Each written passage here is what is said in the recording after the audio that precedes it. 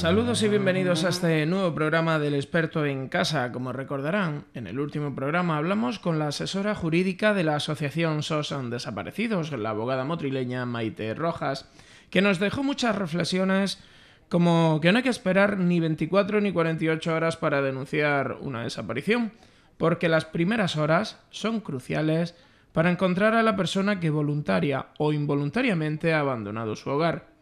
Otro de los aspectos que desconocemos es la situación jurídica en la que quedan esas personas. Por ejemplo, sus familiares no pueden cancelar contratos ante telefonía móvil u otros servicios al no estar el titular presente para anularlo. Vamos a ver, el desaparecido no es una persona que tenga los derechos y las obligaciones ni de una persona viva, porque en realidad eh, no puede hacer los trámites porque no está vivo. Es decir, si tiene que ir a hacer un papel que se requiera personalmente, no va a poder ir porque no sabemos dónde está. Y tampoco tiene los derechos, sus familiares tampoco tienen los derechos como si estuviera muerto. La única regulación que existe sobre las personas desaparecidas es la declaración de ausencia y la declaración de fallecimiento, que es la que le permite a los familiares más o menos gestionar sus bienes.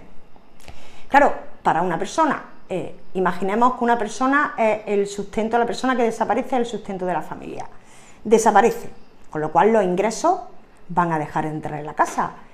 Pero hay que seguir pagando luz, hay que seguir pagando agua, incluso no pueden ni dar de baja su teléfono móvil, porque se requiere que sea esa persona quien vaya a hacer ese trámite personal.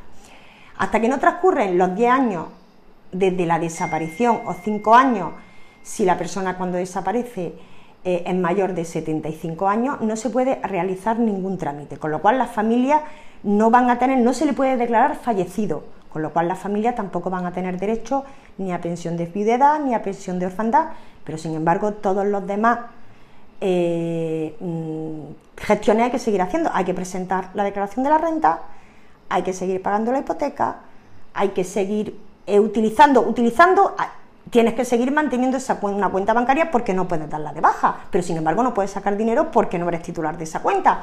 Y como eso, un sinfín de, de problemas con los que se encuentran las familiares. Ah, claro, una familia se le une a, por una parte el dolor porque su familiar está desaparecida y luego todos los problemas jurídicos que conlleva la situación, porque no existe la figura jurídica del desaparecido.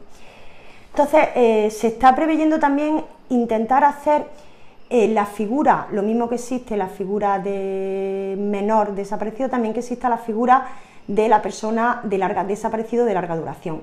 Se supondría aquella figura, aquellas personas que mm, normalmente hemos pensado que puede ser un plazo prudencial, un plazo que lleve desaparecida más de dos años y que efectivamente que se regulen una serie de ayudas y de beneficios eh, que puedan ayudar a esas familias que se encuentran en desamparo total por la desaparición de su familiar.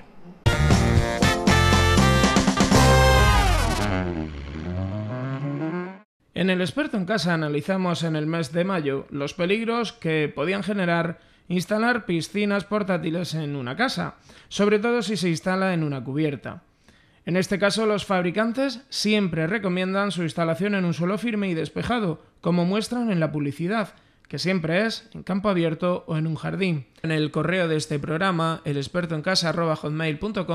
hemos recibido una consulta sobre los riesgos de instalar una piscina desmontable en una vivienda y hemos querido resolverla contando con el asesoramiento del arquitecto motrileño Salvador Romano. A causa del tema este del COVID y tal, pues es normal que la gente busque lugares zonas lúdicas en, su entorno familiar para, entretener a los niños, ¿no? Y al parecer está habiendo una fiebre, ¿no? Al respecto de las piscinas, ¿no?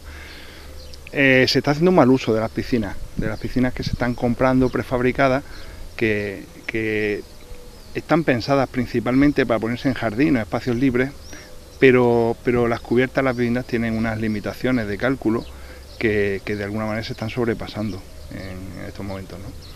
Las limitaciones de movimientos previstas en la desescalada han disparado las ventas y los precios de las piscinas desmontables. Las estructuras suelen colocarse en patios o en terrazas, por lo que los arquitectos alertan de que se tenga en cuenta el estado de la obra y la carga que puede soportar el forjado, ya que no ha sido diseñado para eso. En el caso de las estructuras que han sido ya calculadas para soportar el peso de una piscina en la cubierta, no hay problema porque ya forma parte del proyecto como aclara Romano. Efectivamente, cuando nosotros hacemos, lo hacemos habitualmente, piscina encubierta, son piscinas que la estructura ya se ha calculado con ese, con ese peso, porque eh, pensad que una, una, piscina, un vaso de agua en una cubierta, en una zona sísmica como la nuestra, eh, somete a unos esfuerzos muy importantes a la estructura y, eso se calcula. Entonces, si está calculado, pues no pasa nada porque lo hemos calculado y, lo va a soportar bien. ¿no? El, problema es que en las casas convencionalmente o normalmente no están, no están calculadas para soportar una piscina que se ponga de forma eh, voluntaria, de forma espontánea. ¿no? Por tanto, lo mejor es ponerse en manos de un profesional, una consulta. A mí al despacho ya han venido personas preguntando, oye, que quiero hacer una piscina, porque efectivamente es un, caso que se está dando mucho ahora, y bueno, pues da una serie de recomendaciones, unos límites, y en función del tipo de estructura que tenga la casa, pues puedes ver hasta qué márgenes hay, ¿no? Los arquitectos destacan que hay que tener en cuenta muchas condiciones antes de instalar una piscina en una vivienda. Es fundamental conocer el estado en el que se encuentra la superficie donde se vaya a instalar, pero también la carga para la que fue diseñada la estructura. Además, al ser agua hay que tener en cuenta el movimiento y la cantidad de personas que pueden entrar en la piscina, como afirma Salvador Romano. Cuando calculamos una estructura, tenemos que calcularla con un límite de, peso, el peso que va a soportar. Y en, este caso estamos hablando de que para una cubierta convencional de un edificio actual, digámoslo así, de una estructura de hormigón bien calculado, eh, el, forjado se calcula para 120 kilos de, por metro cuadrado. Eso pasado a la profundidad de una piscina equivaldría a unos 12 centímetros. Entonces, desde el punto de vista técnico, diríamos que, tenemos que limitar como máximo una, piscina de este tipo en cubierta a una altura de 12 centímetros. Eso es lo que nos diría la prudencia, el cálculo y, lo que dice la, los cálculos de estructura. En condiciones normales, los forjados están diseñados para soportar 100 kilos de peso por metro cuadrado, mientras que en las últimas modificaciones de códigos de construcción se eleva esa resistencia con un pequeño margen, pero nunca debe sobrepasarse. En el caso de una piscina media rectangular de 3 por 2 metros y 70 centímetros de altura, tiene una capacidad de 3.800 litros de agua y por lo tanto 3.800 kilos más las personas que entren en ella. Por lo tanto, ocupa una superficie de 6 metros cuadrados y sobrepasa con creces ese límite que soporta el forjado. Como recuerda Salvador Romano, las consecuencias por sobrepasar esos márgenes pueden provocar accidentes graves que implican poner en riesgo las vidas. Supone un grave riesgo, ¿no? De hecho, recientemente ya, ya en España ha caído el primer techo. Hace unos días salió publicado en la prensa que, ya había caído un primer forjado causando heridos y al parecer hubo suerte y no hubo muertes, pero claro, es que se hunde el techo de, la casa, ¿no? Ya ha pasado porque, porque si sobrepasamos la carga del forjado, pues puede llegar a, colapsar, ¿no? Y fue lo que pasó, las fotos eran horrorosas, ¿no? Había caído la cubierta sobre, sobre la vivienda inferior y con, con, las consecuencias que conlleva, ¿no? Por tanto, estamos hablando de un tema eh, muy serio, efectivamente. Tenemos lo más preciado, ¿no? Eh, los niños que al caer pueden, y sobre todo los que están debajo, pues pueden ser aplastados, efectivamente. Es un riesgo cierto, un riesgo cierto. Las estructuras hoy en día tienen muchos márgenes y tal, pero lo que estamos hablando, no más, no más de 10-12 centímetros, es lo que nos dice la prudencia. A partir de ahí, pues habría que estudiar cada caso. Por último, el arquitecto aconseja consultar cada caso en concreto con un técnico que podrá despejar las dudas y aconsejar cómo se puede disfrutar del verano con seguridad. Ponerse en manos de un profesional. Yo lo que recomiendo, eh, los profesionales conocemos perfectamente cómo funciona la estructura, conocemos cómo se han calculado, podemos hacer una, eh, viendo la tipología de estructura, podemos saber los márgenes que hay, podemos orientar dónde ubicar la piscina en caso de que se pueda y, con qué, con qué límites. Por tanto, como todo la vida, ponerse en manos de un profesional, acudir, eh, los arquitectos estamos para eso y estamos encantados de atender a la gente y que, antes de poner cualquier tipo de instalación de este tipo, pues que, acudan a un profesional y que estudie el caso y que, le diga exactamente cuáles, cuáles son los límites de su caso en particular. ¿no?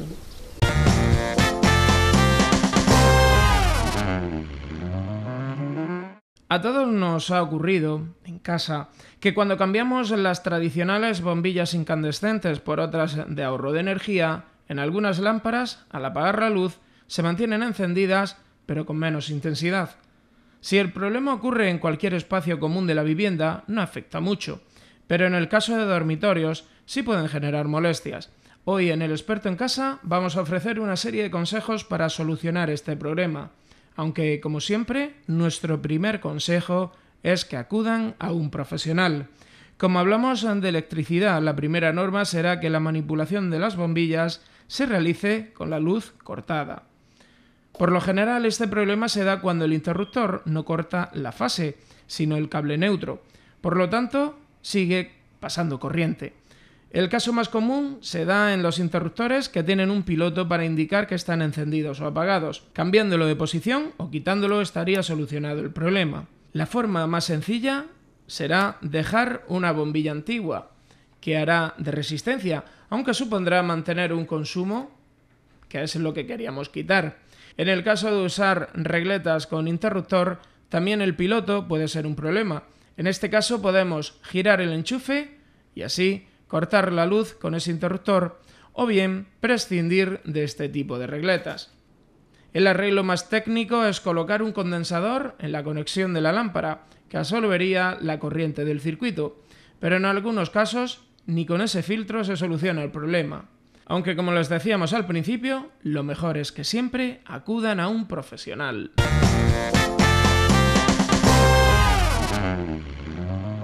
El uso obligatorio de la mascarilla en espacios abiertos y cerrados ha provocado una serie de comentarios acerca de los problemas respiratorios que pueden generar. Profesionales de la medicina han demostrado, con vídeos, que la saturación, el nivel de oxígeno en sangre, no disminuye después de usarla. Ahora bien, dicho esto, a pesar de que este aparatito no dificulta el paso de oxígeno, porque las moléculas de oxígeno y de CO2 son mucho más pequeñas que las microgotas de saliva, que es lo que pretenden parar, es decir, las mascarillas, muy particularmente las quirúrgicas, pero también los otros tipos de mascarillas, están diseñadas para frenar principalmente las microgotas que transportan gérmenes en ellas. Las quirúrgicas, que es como la que llevo yo ahora mismo, son eh, unos dispositivos que se han creado para evitar que yo, mientras estoy operando a una persona, proyecte mis gotitas de saliva en el campo quirúrgico y acabe echando un montón de estreptococos bucales que son terriblemente agresivos en el campo quirúrgico y que la persona que está con su herida abierta y que está siendo suturada, pues sufra una terrible infección. Realmente se inventaron para eso las quirúrgicas. Las de alta filtración se inventaron también para filtrar el aire que me, el aire que me entra. Pero en todas ellas, el tamaño de su poro es muchísimo, muchísimo mayor que el de una molécula de un gas. Entonces, a pesar de esto, hay que decir que esto es incómodo. Yo en este momento me siento incómodo con esta cuádruple mascarilla puesta. Normalmente cuando llevo una me siento moderadamente incómodo. ¿Y de dónde, de dónde? Ay, otra vez me lo he vuelto a mover. Vamos, vamos a colocarlo correctamente. ¿Y de dónde viene esta, esta incomodidad? Pues esta incomodidad viene de varios factores. En primer lugar, tener algo puesto en la cara es desagradable. Y a casi todos los médicos, cuando empezamos a dedicarnos a este trabajo, sobre todo los que van a hacer una especialidad quirúrgica y que se van a pasar muchas horas al día con una mascarilla puesta, les va a producir agobio y se van a tener que ir acostumbrando poco a poco. Porque por un lado, el calor local que genera en la cara es desagradable. El estar respirando nuestras microgotitas de vapor que salen de la boca, que eso sí es algo que tiende a retener la mascarilla y que lo vuelva a poner en suspensión cuando lo vuelva a meter para adentro, también genera una desagradable sensación de agobio. Y los que hayáis estado en una sauna, por ejemplo, lo habréis comprobado. Cuando una persona está en la, en la, sauna y hay mucha densidad de vapor de agua, se produce una gran sensación de asfixia producida por la inhalación de todas esas microgotas de vapor. Sin embargo, no, se asfixian. Con la mascarilla pasa algo parecido. Y es completamente comprensible que una persona, si nota que hay un poquitín de resistencia al paso del aire, es decir, nota que tiene, un poquito, que tiene que hacer un poquito más de fuerza con la musculatura respiratoria, y que además se produce esa subjetiva sensación de, ahogo por culpa del nivel de vapor en sangre, esta persona pues siente que se ahoga. Pero es que si además le hacemos creer que verdaderamente se está ahogando, la vivencia de la persona va a ser terrible. Y os digo más, es muy frecuente que una persona, si siente que se ahoga, se ponga a respirar agitadamente porque eh, es el mecanismo de compensación natural ante la asfixia, respirar más rápido para conseguir equilibrar la cantidad de oxígeno que hay en sangre. Y el problema de esto es que si yo estoy respirando en realidad bien y hay un buen intercambio de oxígeno en mis alveolos y, un, y sobre todo un buen intercambio de CO2, que también es otra cosa que le, achacan a las mascarillas, cuando yo respiro muy aceleradamente elimino demasiado rápido el CO2 de mi sangre y la sangre se empieza a volver demasiado alcalina. Se produce un, un estado que se llama alcalosis metabólica. Si cualquiera de vosotros probáis a respirar rápidamente, al doble o al triple de velocidad, durante un minuto, comprobaréis que os sentís muy mareados. Pues este es el mareo que siente mucha gente cuando está con la mascarilla puesta y empieza a respirar muy aceleradamente por la vivencia de que cree que se está ahogando.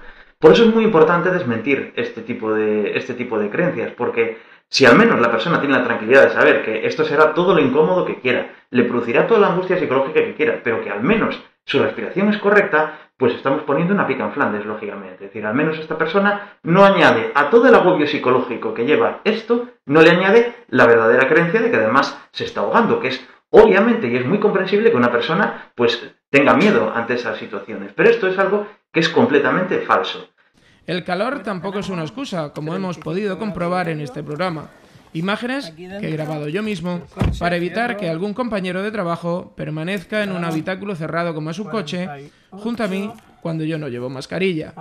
El supuesto parte de una premisa. El aire que exhalamos está a una temperatura, a la nuestra, a la corporal, de 36 o 37 grados. Siempre que estemos en un ambiente más cálido, la sensación nuestra será que estamos respirando un aire más fresco. Situación que todos podemos comprobar cuando entramos con la mascarilla puesta en un coche que está al sol.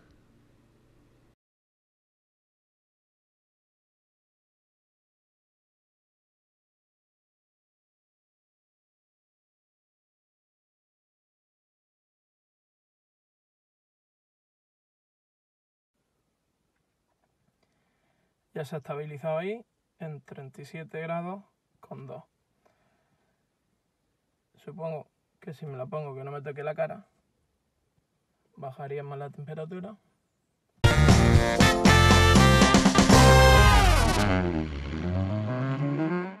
El área de acción social ha adaptado las actividades con mayores en el municipio impartiendo los talleres en de memoria con un cuaderno de actividades que cada usuario se lleva a su casa. Inmaculada Torres ha resaltado que además durante la pandemia, gracias a Telemotril, los monitores de gimnasia y de manualidades han podido mantener el contacto con todos los usuarios incluso ganar nuevos seguidores.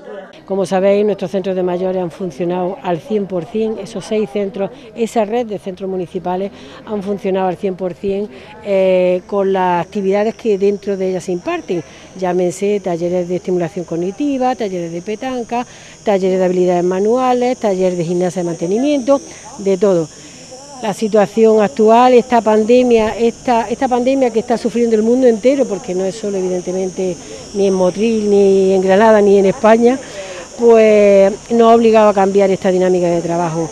Yo tengo que decir que la verdad me siento orgullosísima de los trabajadores sociales, del personal del área de acción social, porque se han implicado de tal manera, cada uno en sus respectivos departamentos, que hay que decir que se han reconvertido y nuestros mayores, los más vulnerables, las personas que eh, más nos necesitan y que más ayuda requieren, no se han sentido solos en ningún momento durante esta pandemia.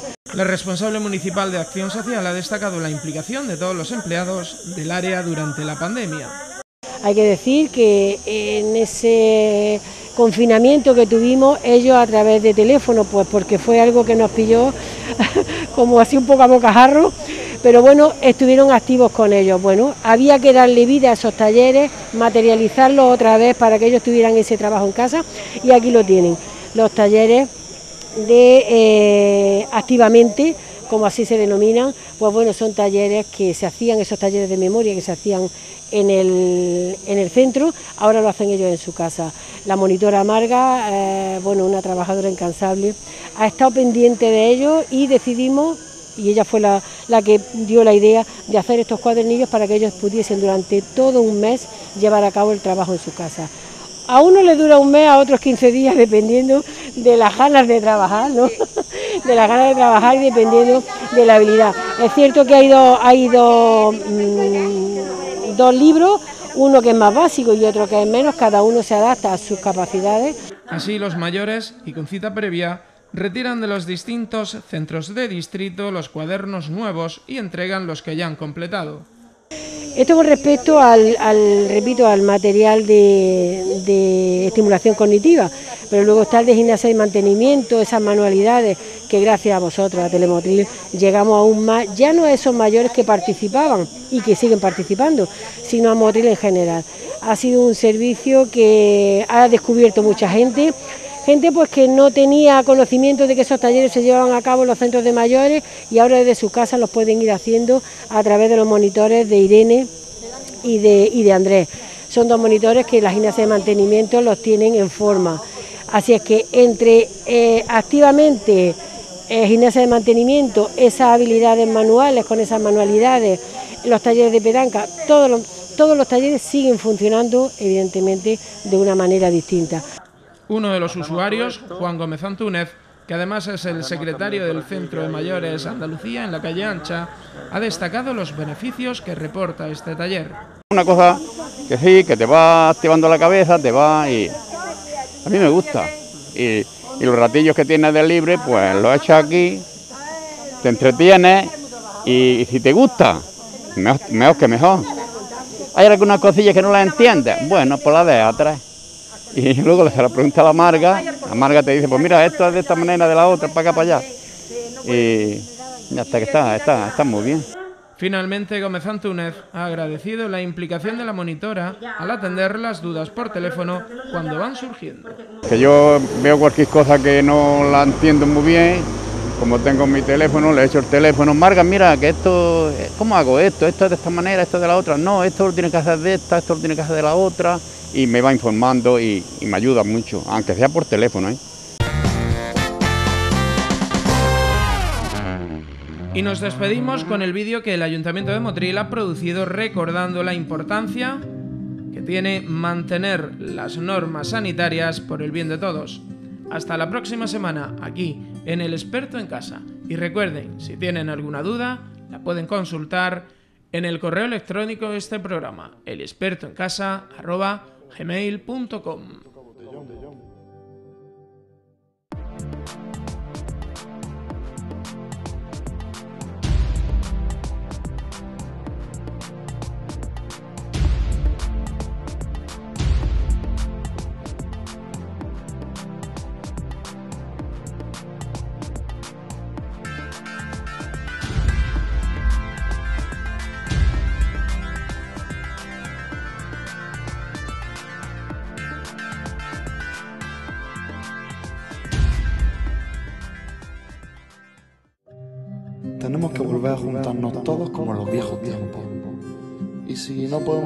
ahí donde vamos a quedar, pues nos vamos a otro lado, no pasa nada. Eso no es problema.